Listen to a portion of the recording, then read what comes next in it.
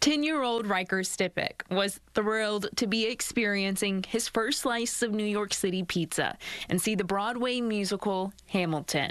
Bless his sweet little heart, he wanted to go to the Weehawken dueling grounds where Aaron Burr and Hamilton had their duel.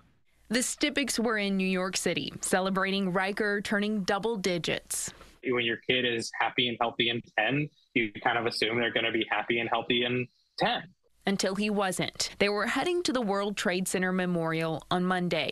There's a building over there that we walked through, and as soon as we walked in that building, he said, Oh, I have a really bad headache. This is the worst headache I've ever had. His dad says Riker vomited and laid down near a bench. It was like a, a, a shriek of pain. They took him to the hospital, where doctors put him in a medically induced coma it's as awful as it sounds. You know what I mean? Doctors told them they think Riker may have had an abnormal connection between his arteries and veins, with an aneurysm inside it, which burst. They had to drill a hole into his skull to drain blood and fluid and remove clotting. Now they're focused on getting his electrolytes back up.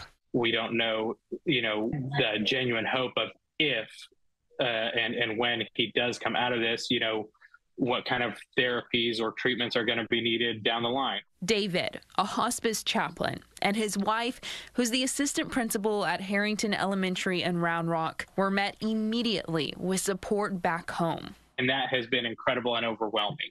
Their church's lead pastor opened a GoFundMe, reaching more than $68,000 in just a few days. I don't have the words to say thank you to everybody outside of the words thank you.